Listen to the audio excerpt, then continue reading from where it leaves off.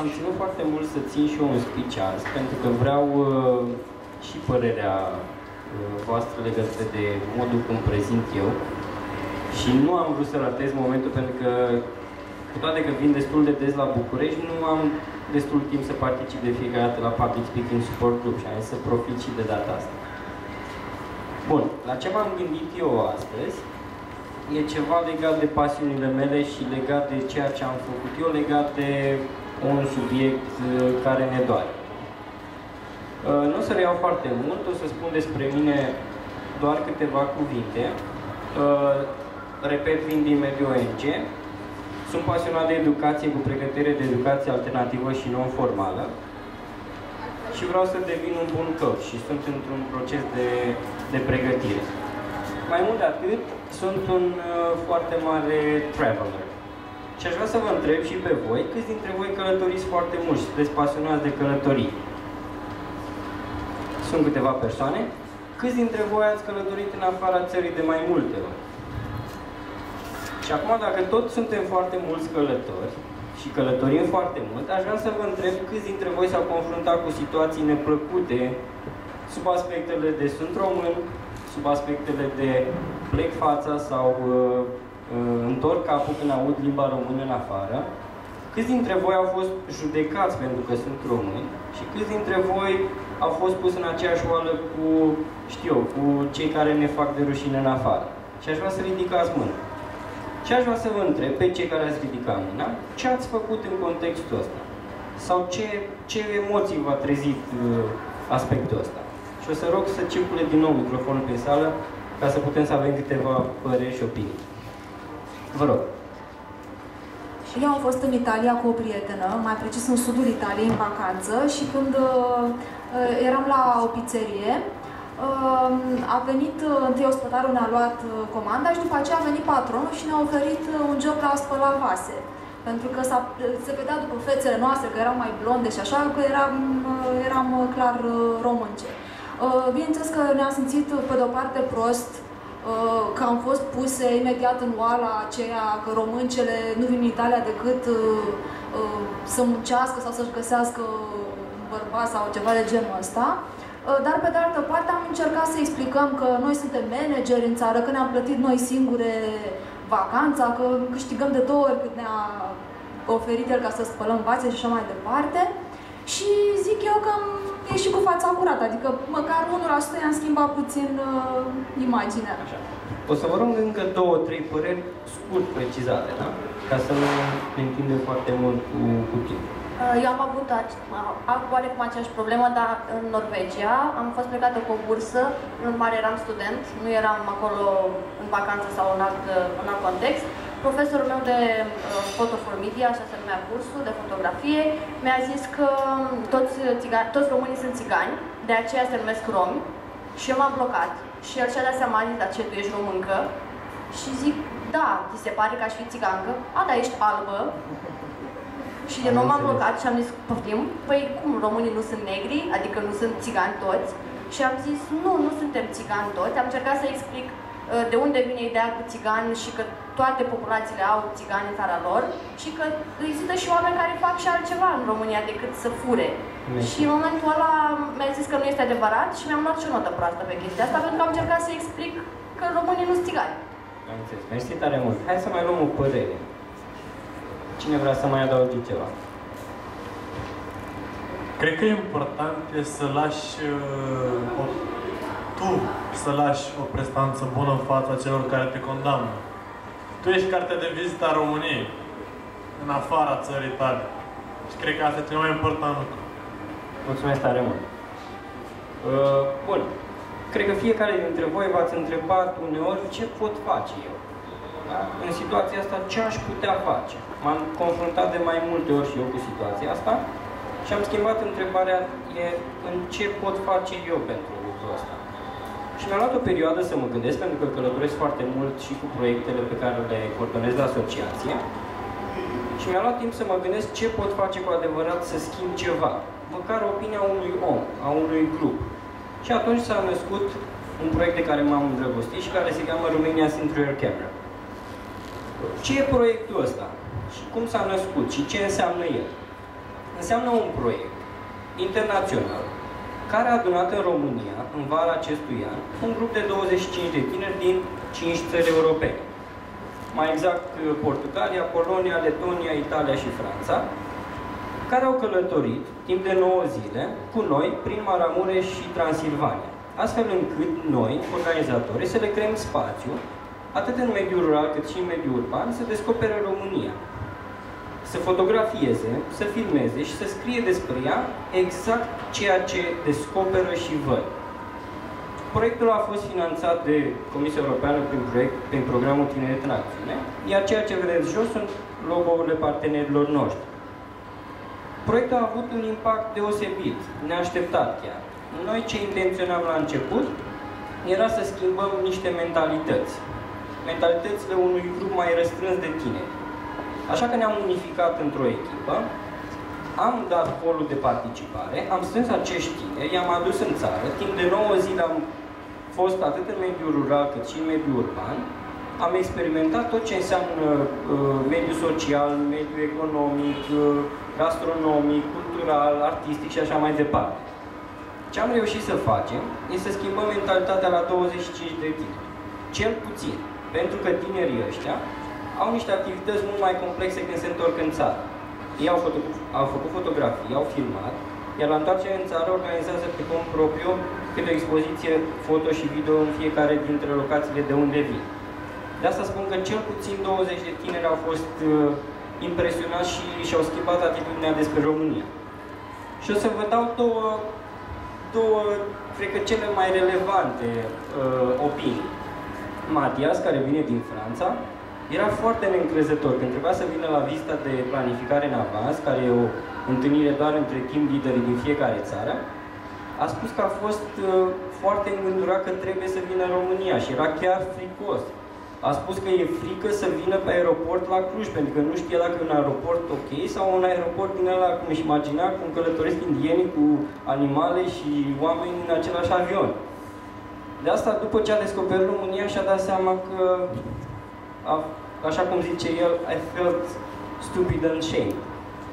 Și a spus că România e mult mai sigură chiar decât Marseille, de unde vine el.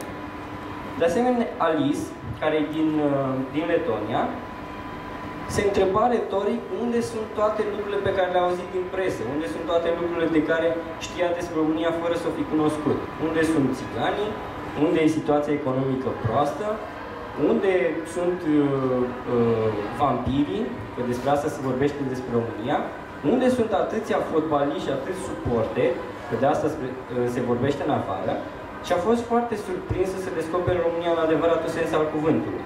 Și s-a îndrăgostit pe bune de România. Chiar se gândește să vină să facă un stagiu de voluntariat la noi în asociație în, în țară. Bun. Aș vrea să, să vă împărtășesc câteva imagini, sper să și meargă. Sper să nu avem o surpriză cu asta. Bun, câteva fotografii făcute chiar de ei în, în, în stagiul ăsta de 9 zile. Cred că o să duruleze puțin mai greu, pentru că sunt foarte, foarte mari. Dacă nu e ok, o să vi le pot arăta chiar pe, pe un folder.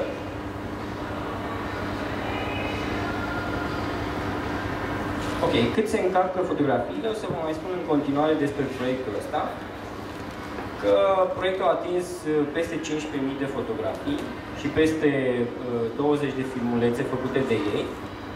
Acestea vor fi introduse pe un portal care se cheamă realromania.org și va fi un site de promovare a României reale, așa cum a fost descoperită, fotografiată, filmată și povestită de tinerii străini care au venit să o descopere fără nicio influență sau implicare din partea noastră în selecția pozelor sau în realizarea videoelor sau în uh, filmarea materială. Da, cred că s-a produs un blocaj din cauza mărimii fotografiilor, ok, nu am țin. O să încerc să vi le arăt uh, pe rând.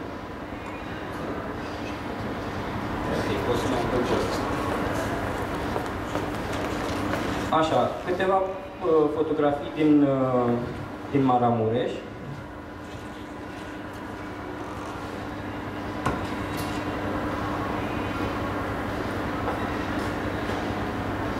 Asta toate fotografiile astea sunt făcute de ei, fără nicio indicație. Tot ce au surprins ei e imaginea pe care, cu care vor ei să meargă în afară din România. Astea sunt imagini din Cluj-Napoca,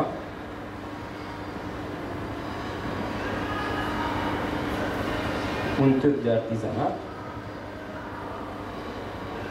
Aici sunt imagini din Apuseni, dintr-un sat din Apuseni, un sat, un sat uitat de lume.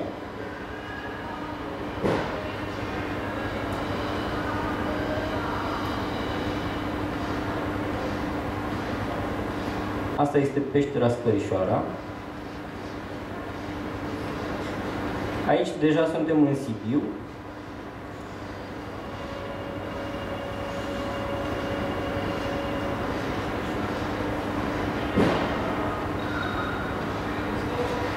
Am trecut în Brașov.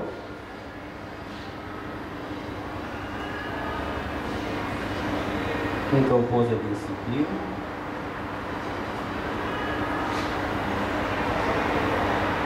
Sighișoara.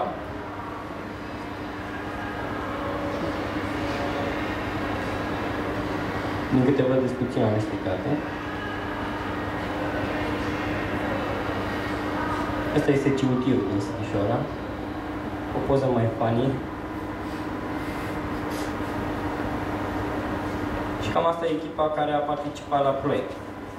Bun, acum aș vrea să vă prezint inclusiv un filmuleț care să exprime efectiv viziunea lor despre, despre România. Probabil, dacă o să avem timp, o să, o să vedem împreună două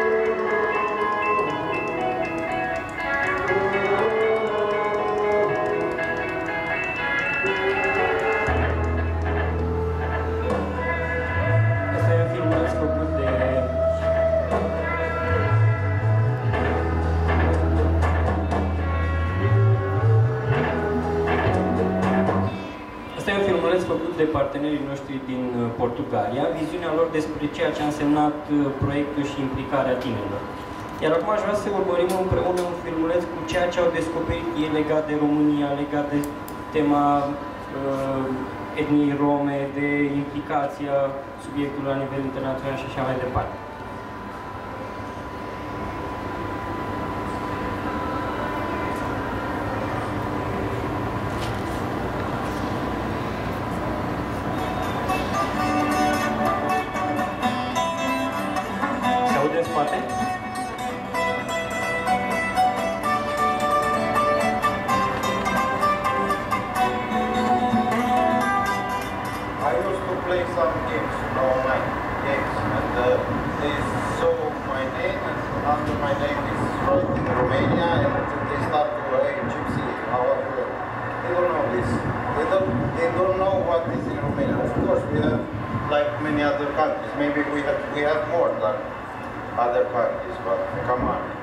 You cannot call everybody Gypsy.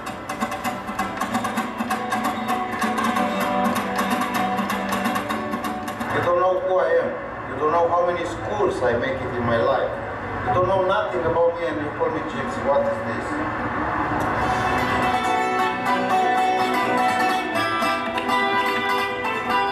Mostly, I think uh, the other people uh, don't think of us so high, as I said earlier, but we learn fast, and we could learn so much if we really try. These people from Romania with different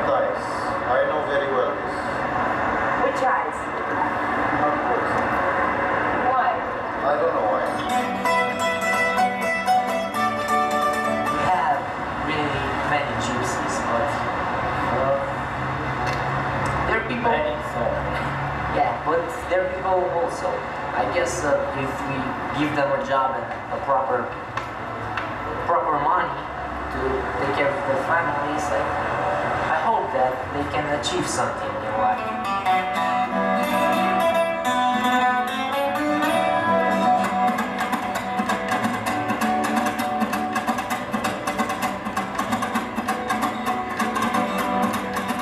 I'm uh, Siremus. Uh, I'm here in Romania, and uh, as you can see, Romania is awesome.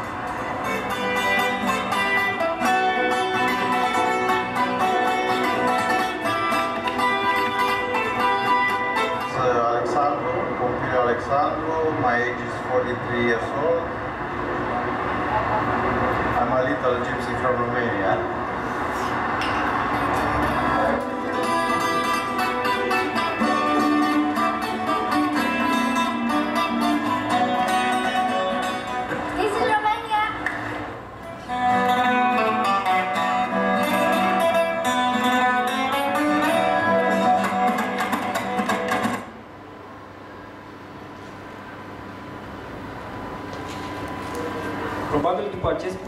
Proiect vă întrebați și voi ce urmează. Pentru că am reușit să schimbăm mentalitatea cel puțin, uh, a cel puțin 25 de oameni. Dar proiectul nu se, op- nu se va opri aici. Iar ceea ce urmează e, în primul rând, perseverența. Pentru că România Sintru cheamă la ediția a doua, pentru că prima a fost doar în Maramureș și Transilvania. A doua ediție se va desfășura în Moldova și Bucovina. A fost deja înaintat spre finanțare acum la 1 noiembrie și sperăm din tot sufletul să fie finanțat, are șanse foarte mari. Va fi depus și un al treilea proiect pentru august uh, anul viitor pentru Delta Dunării și uh, regiunea Dobrogei și Marea Neagră, urmând ca în următoarele două ediții să depunem proiect și pentru celelalte zone din, uh, uh, din țară, astfel încât să cuprindem cam toată România văzută și povestită și fotografiată de străini.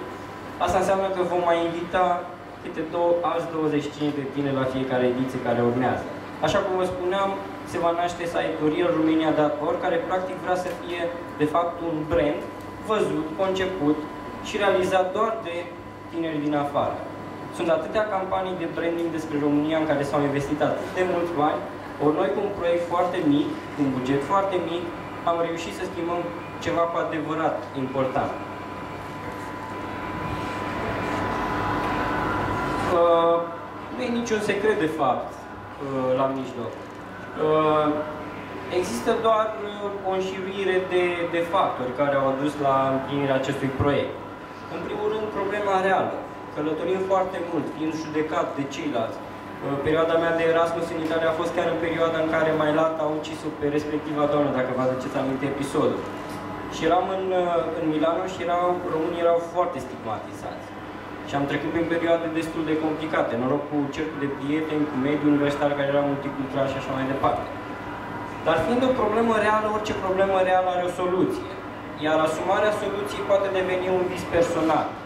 Visul personal te duce cu toate resursele folosite la realizarea unui scop, la schimbarea, la o schimbare în binea problemei pe care ai descoperit-o. Și bineînțeles, aduce satisfacție și beneficii, pentru că proiectul ăsta a fost un spațiu în care am învățat, atât eu cât și echipa noastră. Așadar, întotdeauna există o problemă reală, iar întrebarea rămâne mereu aceeași. Tu ce ai de gând să faci pentru ea? Și bineînțeles, sunt sigur că aici în sală sunt foarte mulți tineri dornici să schimbe lucruri, dornici să facă lucruri, așa că nu rămâne decât să vă spun succes în tot ce faceți. Mulțumesc!